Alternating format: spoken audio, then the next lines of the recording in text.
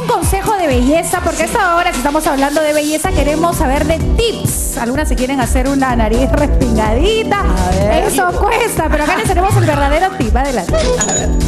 Tener el perfil de modelo que siempre quiso es algo que hoy por hoy la rinoplastía puede hacer realidad. Pero ¿qué sucede cuando el resultado no es el que se esperaba?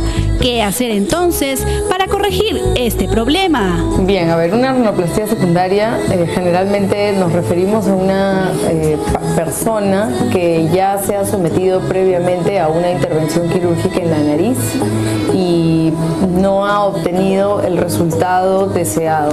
Quizá el caso más reciente que llegue a nuestra memoria sea el del desaparecido cantante Michael Jackson. Así como él, existen otros casos en los que la rinoplastía secundaria puede ser una solución inmediata. Si es que vamos a conseguir una mejoría haciendo una cirugía o si es que de repente tomamos otro camino eh, para, para, lograr al menos que se, que se pueda ver mejor.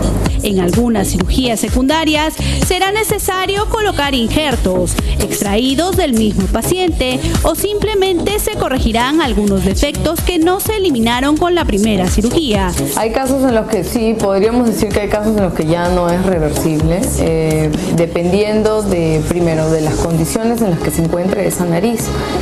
Eh, siempre hay que ver el, el, espesor de la piel, la cantidad de fibrosis que ha formado en la cirugía previa. Es importante que el paciente tenga en cuenta estas consideraciones al momento de tomar la decisión de volver a operarse.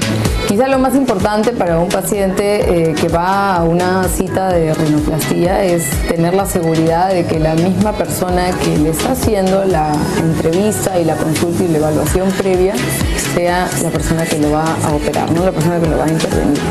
Y quizá esto es un punto eh, a favor de la seguridad que va a sentir el paciente antes de entrar a la sala de operaciones. ¿no?